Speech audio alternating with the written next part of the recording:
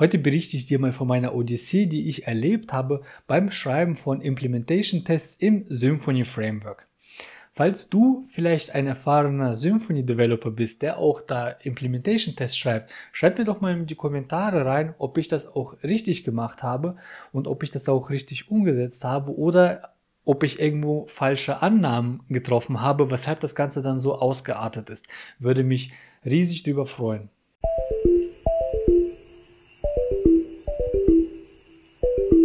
Hi, wenn du neu hier bist, mein Name ist Vitali und ich arbeite seit über 10 Jahren als PHP-Entwickler. Zurzeit arbeite ich an meinem eigenen Browser-Game und das hier ist die Dokumentation dazu. Gehen wir aber mal kurz zurück. Ich habe ja vor einigen Videos ursprünglich mal einen Quellcode aufgebaut, wo ich dann eben meine Unit-Tests geschrieben habe und dadurch sind einige Interfaces entstanden. Nun heißt es, diese Interfaces müssen jetzt im Framework implementiert werden mit Implementation-Tests. Kurze Erläuterung für diejenigen, die nicht wissen, was Implementation Tests sind. Wenn du einen Unit-Test schreibst, schreibst du den normalerweise nicht gegen eine richtige Datenbank, sondern du tust so mit einem Fake oder einer Mock-Klasse, du tust so, als ob du Daten aus der Datenbank auslesen würdest und dann mit diesen gefakten Daten arbeitest du eben weiter und du tust halt eben einfach nur so.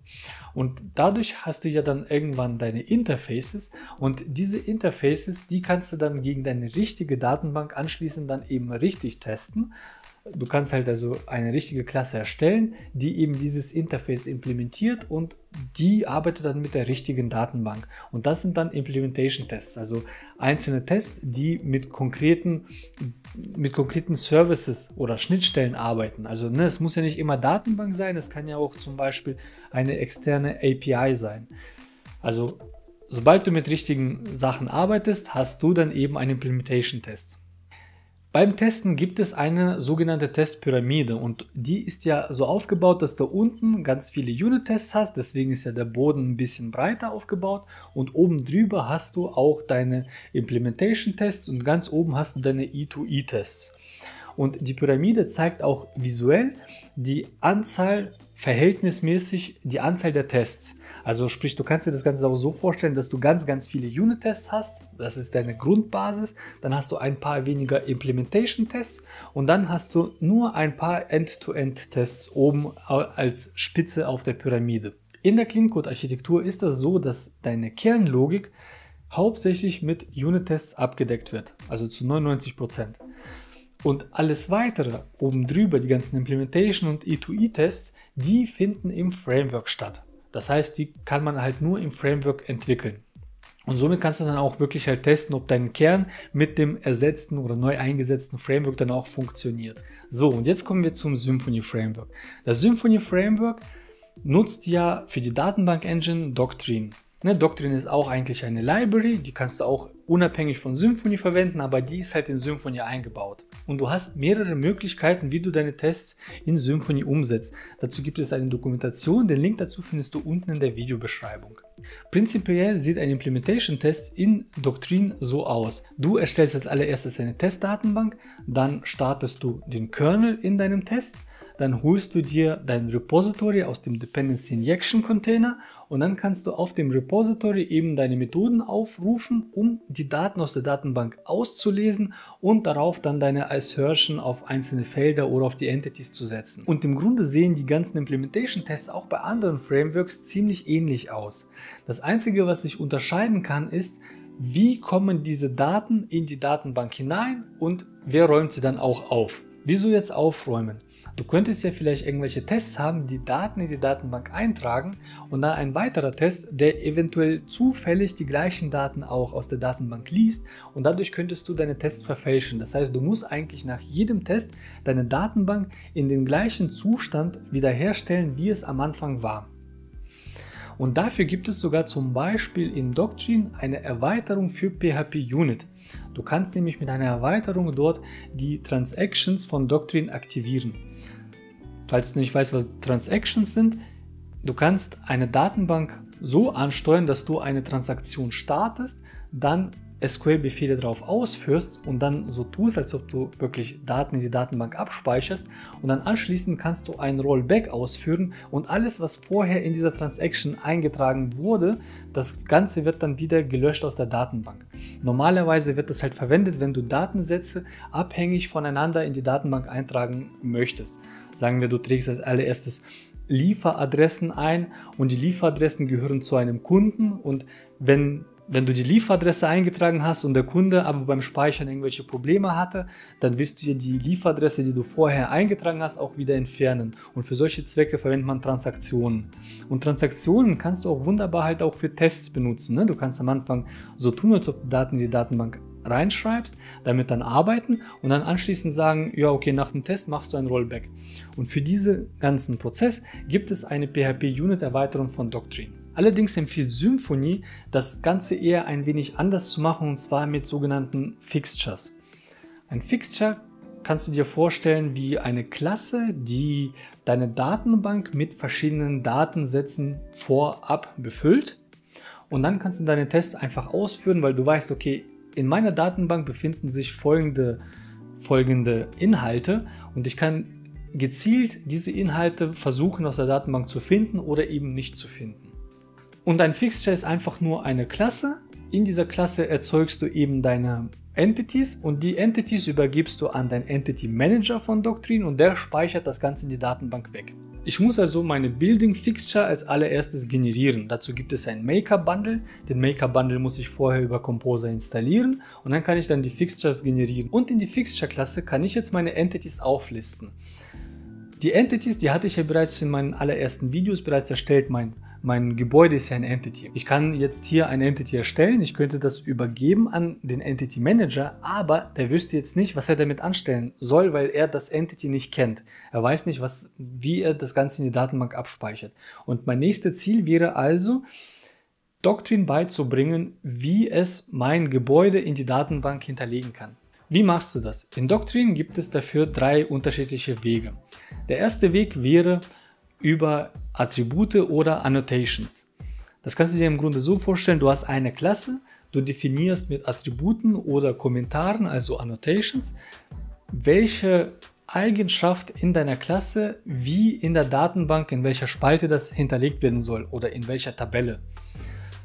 Da ich ja aber natürlich Framework unabhängig entwickle, wissen ja meine Entities nicht, dass die von Doctrine benutzt werden. Das heißt, ich darf nicht in meine Entity irgendwelche Dinge reinschreiben, die für Doctrine relevant wären.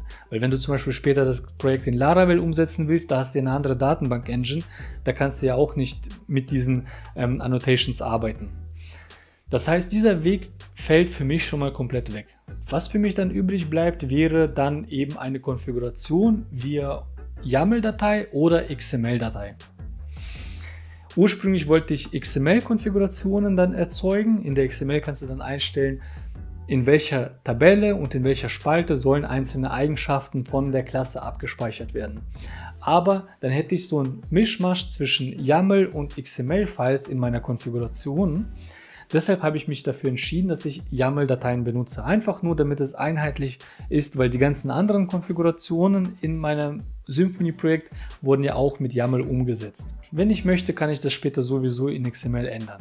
So, damit also Doctrine weiß, wie es mein Entity in die Datenbank abspeichern soll, muss ich also ein YAML-File erstellen und dort das Ganze eintragen. Wie mache ich das am besten? Ich könnte das Ganze manuell machen. Da müsste ich dann eben durchlesen, wie funktioniert das mit den einzelnen Felderbezeichnungen und so weiter. Es gibt aber einen Weg, dank meinem Stream habe ich das ja erfahren, dass ich anhand der Tabelle das Ganze erzeugen kann. Also sprich, Doctrine geht in die Datenbank hinein, schaut sich meine Datenbankkonstruktion, die Struktur der Datenbanktabelle an und erzeugt mir dann basierend an der Tabelle, erzeugt mir dann anschließend dann meine Konfiguration. Damit ich aber meine Datenbanktabelle anlegen kann, brauche ich dazu auch Migrations.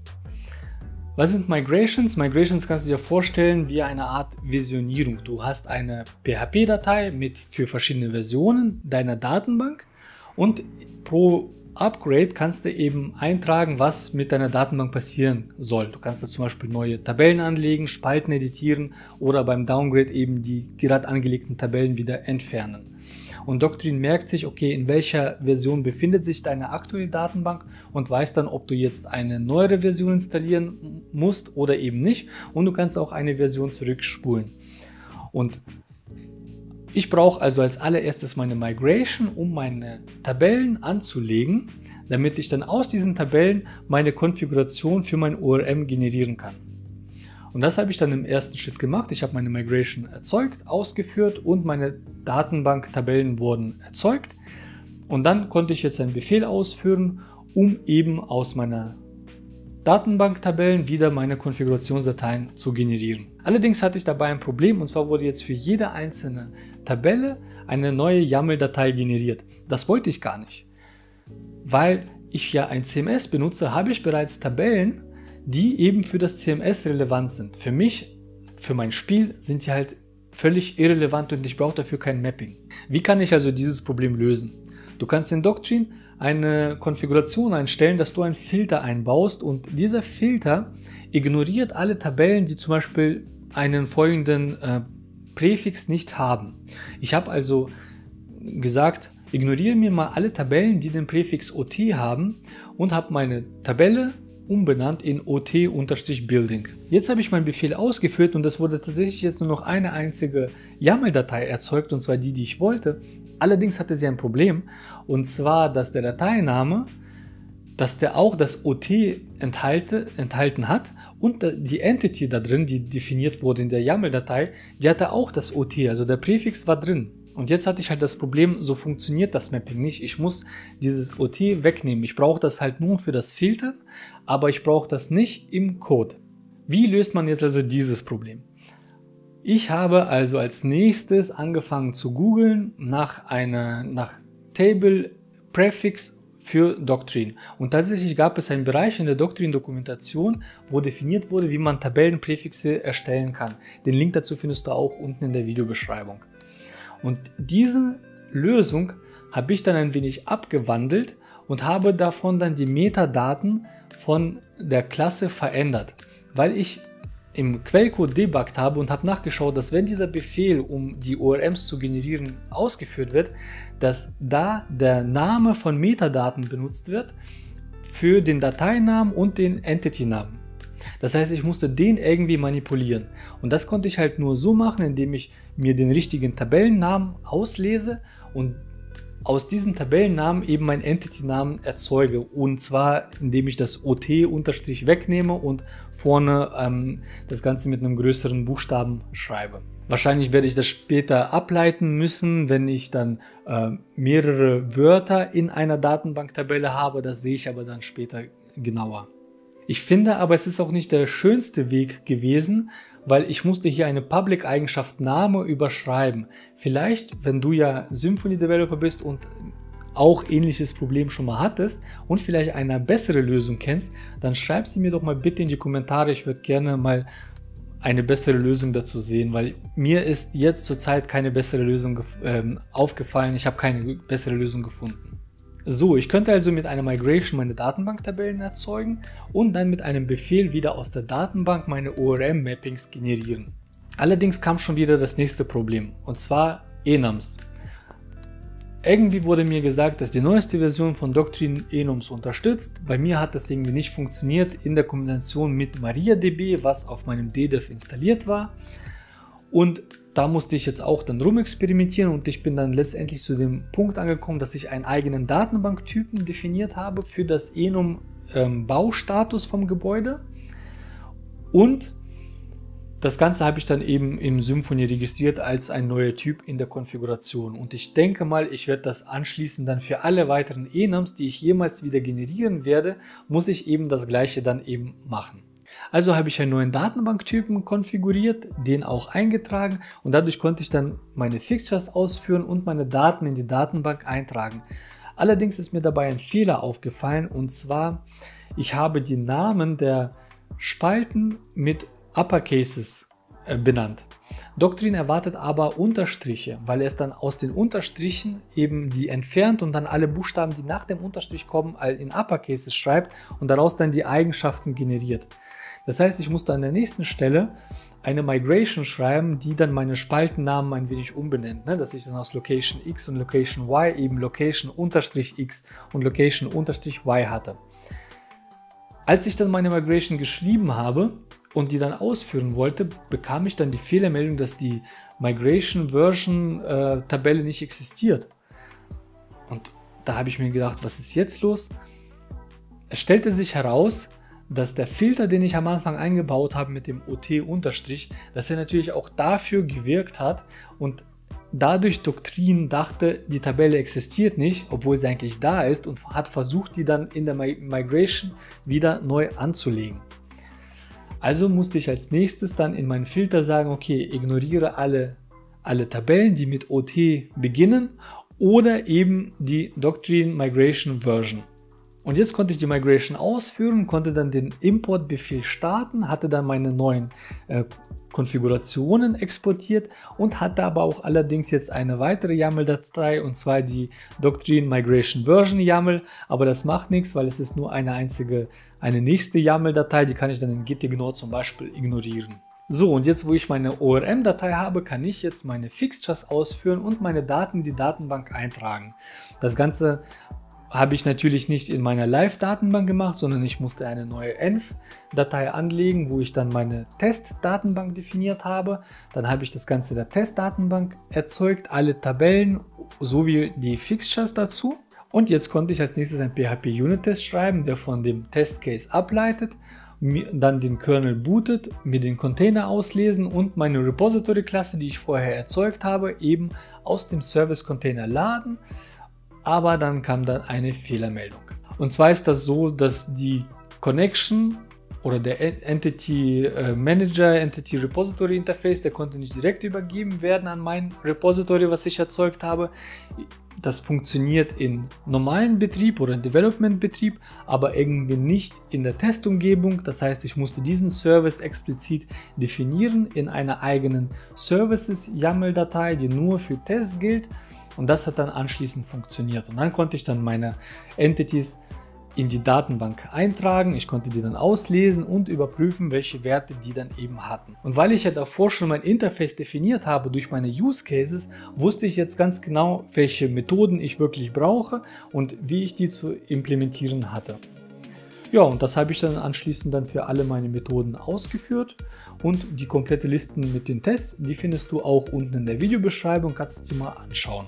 Ich denke mal aber jetzt nach dieser Odyssee ist jetzt alles grundlegend konfiguriert, so dass wenn ich ein weiteres Entity erstelle, dass ich dann einfach nur noch äh, eine neue Migration erstelle, die dann exportiere, die Konfiguration dazu und dann wird das schon auf Anhieb funktionieren, weil jetzt ist schon quasi alles vordefiniert und die größte Arbeit habe ich jetzt quasi vorgeleistet. Und wie schon am Anfang erwähnt, es kann sein, dass ich in diesem ganzen Prozess irgendwas falsch gemacht habe streite ich nicht ab. Deswegen schreib es mir doch mal bitte in die Kommentare, was ich denn falsch gemacht habe und was ich hätte besser machen können. Vielleicht gab es da irgendwie eine andere Konfigurationseinstellung oder irgendwas anderes, wovon ich eben nichts weiß. Schreib es mir mal unten in die Kommentare. Ich freue mich darüber, die zu lesen. Ich hoffe, das Video hat dir gefallen. Ich hoffe, die Odyssee hat dir gefallen und wir sehen uns dann nächste Woche bei einem weiteren Video, bei dem, bei dem nächsten Fortschritt.